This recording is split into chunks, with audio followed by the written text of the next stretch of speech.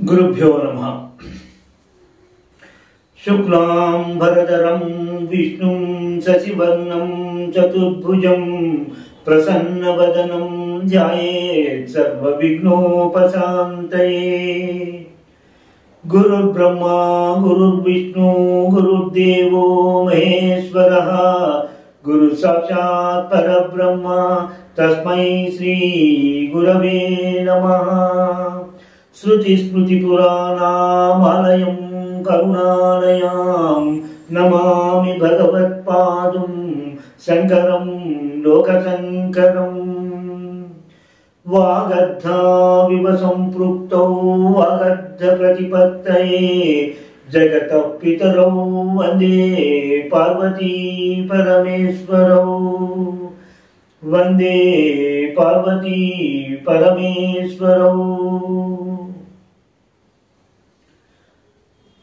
సౌందర్య లహరి శ్లోకాల విపుల భావాన్ని తెలుసుకోవడానికి ఈ వీడియోని వీక్షిస్తున్న మీ అందరికీ నా నమస్కారం తెలియజేసుకుంటున్నాను. అలాగే సౌందర్య నగరి గ్రంథకర్తలకు ప్రవచనకర్తలకు అందరకు నా నమస్కారాలు తెలియజేసుకుంటున్నాను. మా గురువు గారైనటువంటి శ్రీ జ్ఞానేశ్వరమ్మ గారి పాదములకు నమస్కరించి ఆవిడ ఆశీస్సులను అర్థిస్తూ ఈరోజు సౌందర్య నగరంలోని ఇరవై ఒక్క శ్లోకానికి విపుల భావాన్ని అమ్మవారు నాకు ఇచ్చిన శక్తి మేరకు జ్ఞానము మేరకు తెలియజేయడానికి నేను ప్రయత్నం చేస్తాను. ఈ ఇరవై ఒక్క శ్లోకము ఈ విధంగా ఉంటుంది. తటిల్లేఖా తపన శశి వైశ్వానరమయీ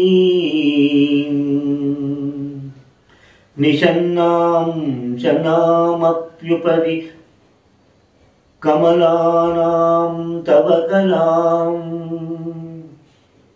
महापद्माटव्यां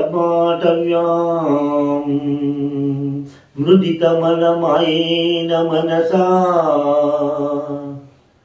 महां तव पश्यन्तो ददति परमहानन्दलहरी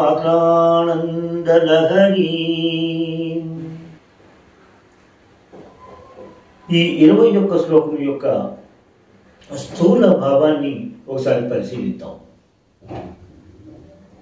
అమ్మా మెరుపు తీగ వంటి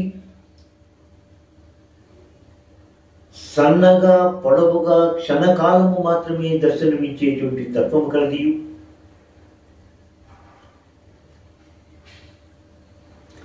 అగ్ని సూర్య చంద్ర కళలతో కూడినదైనటువంటిది ఆరు చక్రముల పైభాగమున ఉండేటువంటి మహా తామర వనములు ఉండేటువంటిది అయినటువంటి నీ సాధాఖ్య కళను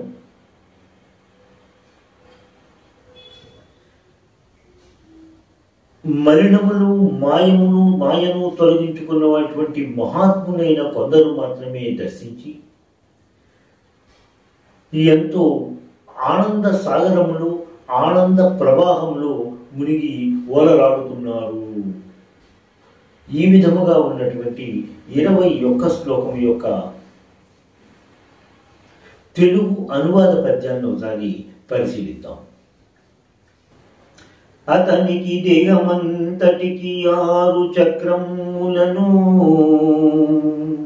తవ ధ్యానం మతరిని సతజుంపగ స్వదుగసేయ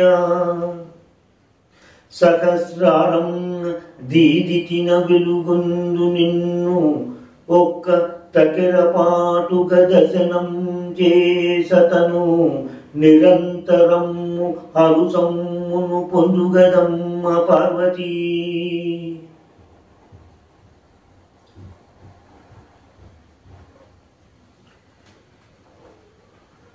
క్రిందటి శ్లోకాలలో ఇది ఇరవై ఒక్క శ్లోకం కదా. ఇంతకు ముందు శ్లోకాలలో అమ్మవారి యొక్క పాద వైభవమును పాద రజని యొక్క వైభవమును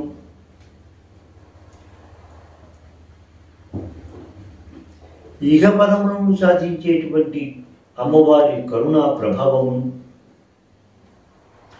జ్ఞానము విద్య కవితా సామర్థ్యము పొందేటువంటి శ్లోకములను వశీకరణ శ్లోకం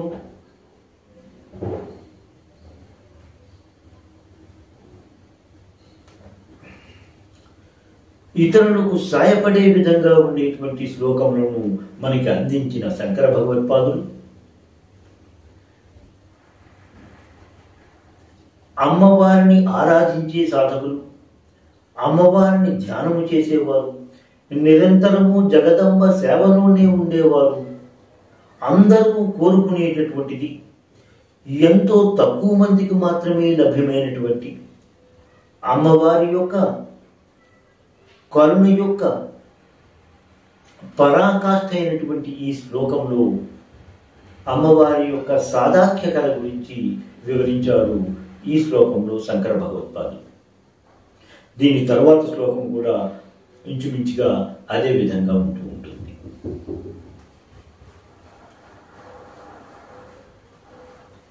తటి లేఖా తన్వీం తటిత్ లేఖా తన్వీం. సన్నగా పొడవుగా క్షణకాలము మాత్రము దర్శనమిచ్చేటువంటి తత్వము కలిగినటువంటిదైనటువంటిది. తపన శశి వైశ్వానరమయీ సూర్యుడు చంద్రుడు అగ్ని తత్వములను కలిగి ఉన్నటువంటిదే.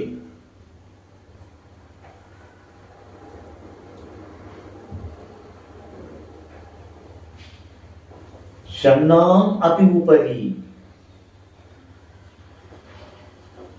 అంటే ఆరు సంఖ్య కలిగినటువంటి పద్మముల మీదను అపిభుపది అంటే ఇక్కడ శంకర భగవత్పాదులు మనలోని ఆరు చక్రముల గురించి తెలుపుతూ ఆరు చక్రములు ఒకదాని మీద ఒకటి ఉంటాయి కాబట్టి ఈ ఆరు చ- ఒకదాని మీద ఒకటి ఉండేటువంటి ఆరు చక్రములు కాకుండా ఇంకా పైనటువంటి మహాపద్మాటవ్యాం గొప్ప తామర తోటయందు నిషన్నాం అన్నారు. అక్కడ ఉన్నది నిషన్నాం తవకలాం అక్కడ అమ్మవారి యొక్క సాదాఖ్యకల ఉన్నది అనే విధంగా చెప్పారు. అటువంటి సాదాఖ్యకలను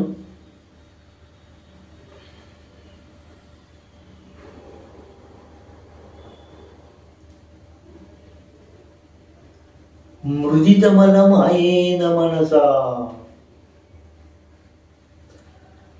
మలము అంటే హరిషద్వర్గాలను మాయను తొలగించుకున్నటువంటి మనసు కలిగిన వారేటువంటి మహాంత మహాత్ములు పశ్యంత చూస్తున్నారు అని అన్నారు. చూస్తున్నటువంటి వారికి పరమానంద లహరీం దగతి నిరంతరము ఆనందమును ప్రసేదించేటువంటి ప్రవాహంలో దదతి ఓనరాడుతున్నారు అనే విధంగా ఈ శ్లోకాన్ని రచించారు శంకర భగవత్పాదులు. ఈ శ్లోక భావానికి సరిపోయే విధంగా ఉండేటువంటి ప్రతి పదము యొక్క అర్థాన్ని మనం గ్రహించాము. కానీ ఈ శ్లోకంలో ఉన్న కొన్ని ముఖ్యమైన పదాలకి ఇంకా కొంత వివరణగా తెలుసుకోవాల్సిన అవసరం అయితే ఉంటుంది తపనశసి వైశ్వానరమయీం అన్నాం. ఈ తపనశసి వైశ్వానరమయీం అనేటువంటిది మామూలుగా చూసుకున్నప్పుడు ఇది సూర్య చంద్ర అగ్ని సారమైనటువంటి కళలను పొంది ఉన్నది అనే విధంగా మనకి కనిపిస్తూ ఉంటున్నది కానీ అంతకన్నా ముందర షన్నాం కమలానాం అన్నారు. అంటే ఆరు కమల ఆరు కమలముల పైన ఇక్కడ శంకర భగవత్పాదులు కుండలిని గురించి చెబుతూ ఆధార చక్రము దాటుకుంటూ అక్కడ ప్రారంభమైనటువంటి దాని ప్రయాణం ఊర్ధ్వదిశగా ప్రయాణం చేస్తూ ఆధార చక్రము స్వాధిష్టాన చక్రములను అనుసంధిస్తాను అనుసంధానిస్తున్నటువంటి బ్రహ్మగ్రంథిని ఛేదించుకొని ఆ బ్రహ్మగ్రంథి దగ్గర ఉన్నటువంటి యాభై ఆరు యాభై రెండు కళలను సంతరించుకుంటూ మణిపూరకము అనాహత చక్రములను ఛేదించుకుని అక్కడ ఉన్నటువంటి విష్ణు గ్రంథిని భేదించి అక్కడ ఉన్న నూట పదహారు కళలను కూడా సంతరించుకుంటూ. తరువాత విసిద్ధి విశుద్ధి ఆజ్ఞాచక్రములు ఉన్నటువంటి రుద్రగ్రంథిని భేదించుకుని అక్కడ ఉన్నటువంటి డెబ్బై రెండు యాభై ఆరు అరవై రెండు మొత్తము నూట ముప్పై ఆరు కళలను సంతరించుకుని మొత్తము మూడు వందల అరవై కళలను పొందినది. అక్కడ సూర్య చంద్ర అగ్ని తత్వములతో ఎందుకంటే ఇక్కడ బ్రహ్మ గ్రంథిని అగ్నితత్వంతో కూడి ఉన్నట్టుగా. విష్ణు గ్రంథిని సూర్యతత్వంతో కూడి ఉన్నట్టుగాను రుద్ర గ్రంథి చంద్రతత్వమును చంద్ర కళలను కూడి ఉన్నట్టుగాను మనం గ్రహిస్తూ ఈ మూడు గ్రంథులను భేదించుకుంటూ వెళుతూ అక్కడ ఉండేటువంటి మూడు వందల అరవై కళలను సంతరించుకుంటూ మీదకి వెళ్ళి అక్కడ తటిల్ లేఖ తన్వి మెరుపులాగా మెరుస్తూ ఉంటుంది అనే విషయంగా శంకర భగవత్పాదులు ఈ శ్లోకంలో తెలియజేసుకున్నారు.